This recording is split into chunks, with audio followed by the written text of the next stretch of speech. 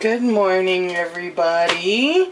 We are making blue blueberry muffins. This is another recipe from Joanne Fluke's um, blueberry muffin murder mystery, whichever. I can't remember the name of the, of the, um, the book. I have preheat my oven to 375 and I'm using jumbo foil tins. And the cool part about the foil tins is that you don't need uh, um, muffin tins. You can just leave them standing just like this and fill them. So we're going to do that. Um, I have gone ahead. I have melted 3 fourths cup of butter. Then I'm going to mix in one cup of sugar. And I'm going to get that as incorporated as possible. Before I started, I got out my uh, blueberries. You can you can use the frozen berries without defrosting them.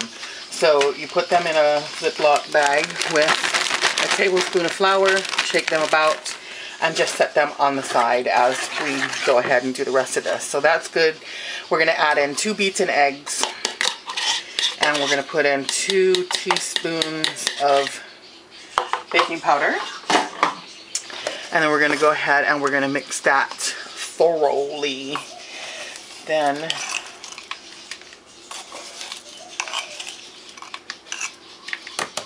Alrighty. Then we're going to add in our flour and such. I have two cups of flour. You're in here, okay. I have two cups of flour. We're gonna add in half of the two cups. So now I guess my I don't know if it's see that's that's the the thing about this melted butter business. Like it made the um, baking powder like chunky. So what if you bite in and you get a Alrighty, I guess that'll teach me to check my battery level. Anyways, I was saying that, you know, it's not going to be very nice to bite into one of these. So I guess what I'm going to do is I'm going to go ahead and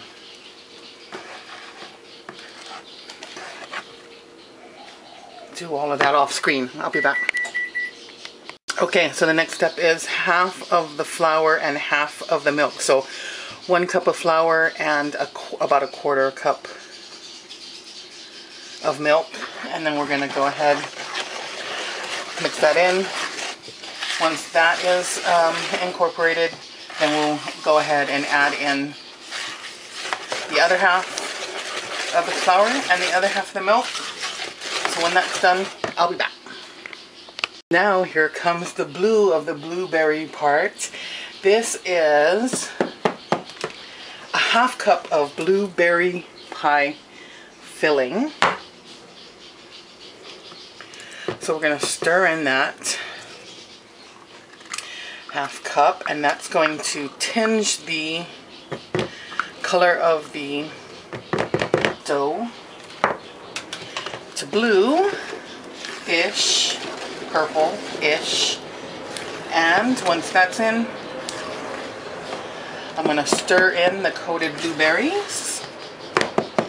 And I'm going to fill the tins three quarter fill. Now that's for like a regular um, muffin. So I'm going to do these I think about a halfway full. So let's go ahead and let's see. The flour hasn't all stuck so I don't want a big old pladow of flour to fall in there. Okay, and I know that there are beginner um, bakers, but you would coat that so that it wouldn't sink. The thing is that now it's going to be mixed in there, so the coating might just come off, but whatever. Even if the blueberries do sink to the bottom, it still makes it goodness gracious goody.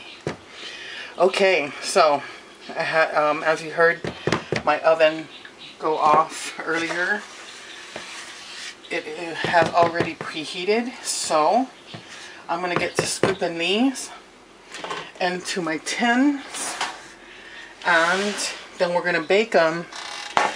Uh, normal muffins would be baked from 25 to 30 minutes. These are probably going to take a little bit more because we're making them just a little bigger. So I'm going to start checking them at about that 25 minute mark and then we'll just go from there. So I guess we'll be back. Yeah, baby. Nice and thick and lovely. This is supposed to make 17 regular sized muffins. It ended up being perfect for 12 jumbo sized. Bye blue blueberry muffins. See you in about 30 minutes. She gave a very helpful um, hint or tip rather because you know you only use that much of the blueberry pie filling that would be like a total waste. So it says to freeze the leftover pie filling in half cup servings so that you can just use a small zipper ba um, Ziploc bag in a future batch. Very cool. So I'm going to be doing that. The leftovers made one, two, three, and just a little bit extra. Um, in the can so we can make three more batches. I'm just going to go ahead and divide it between these three bags and call it a day. I found one lone blueberry left in the bag so I popped it on there so it has a little bit of a flowery existence. Here you go, it's a little dark. The full sized ones I put in for 28 minutes so regular sized ones might have to go a little less than that. But here you go. Blue blueberry muffins. Enjoy. Well, they didn't all sink to the bottom. Good blueberry muffins.